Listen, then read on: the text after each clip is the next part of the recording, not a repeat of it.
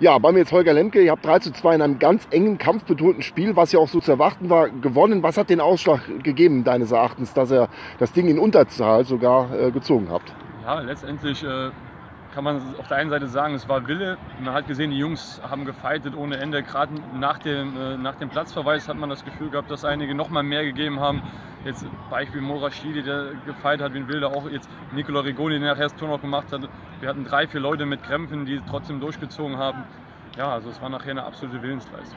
War, denke ich mal, eine optimale Einstellung jetzt auf die oder Einstimmung auf die neue Saison. Was ist da von euch zu erwarten? Jetzt kommende Woche in Zerf. Geht ja, der also direkt in die Vollen oder in Hentern besser gegen, gesagt gegen Zerf? spielen wir natürlich äh, mit äh, gegen den Titelfavoriten. Also eine Top-Mannschaft haben wir letztes Jahr gesehen und gerade die sehr, sehr heimstark sind. Aber wir freuen uns drauf. Wir haben einen guten Kader, wir haben eine gute Jungs und äh, ja, wollen natürlich auch gegen Hochwald gewinnen, natürlich.